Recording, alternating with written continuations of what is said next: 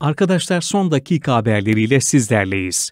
Türk savunma sanayinden Pakistan'a yeni ihracat, Türk Silahlı Kuvvetleri'nin ihtiyaçları için millileştirilen mühimmat eğitim podu Pakistan'a ihraç edilecek. Edinilen bilgiye göre Türk savunma sanayi bünyesinde uzaktan algılama, elektronik harp ve haberleşme, simülasyon ve eğitimle görev sistemleri alanlarında birçok sorumluluk üstlenen SDT Uzay ve Savunma Teknolojileri AŞ yeni bir ihracat başarısı yakaladı. SDT, Pakistan'ın Karachi kentinde düzenlenen Uluslararası Savunma Fuarı ve Semineri İDIAS 2022'de Pakistan Hava Kuvvetleri ile simülasyon vasıtasıyla pilot taktik eğitimi sunacak sistemleri geliştirmek amacıyla sözleşme imzaladı.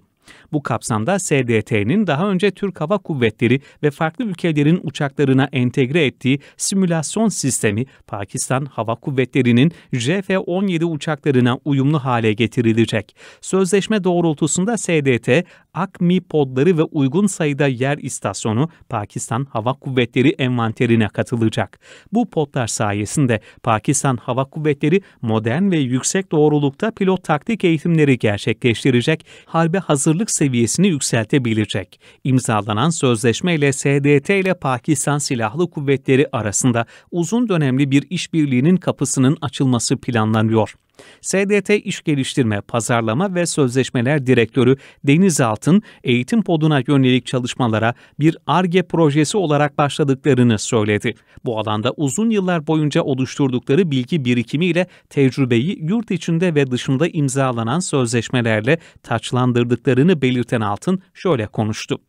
Ürünlerimizin başta Türk Hava Kuvvetleri olmak üzere dost ve müttefik ülkeler tarafından kullanılmasının gururunu yaşıyoruz. Pakistan'la imzaladığımız bu sözleşme sayesinde sistemimizi entegre ettiğimiz platformlara JF-17 ile bir yenisini daha ekliyoruz. Ürünlerimiz envanterine girdiği dost ve müttefik ülkelerin silahlı kuvvetlerinin gelişimine, güçlenmesine, ihracat yoluyla da ülke ekonomimize katkı sağlıyor.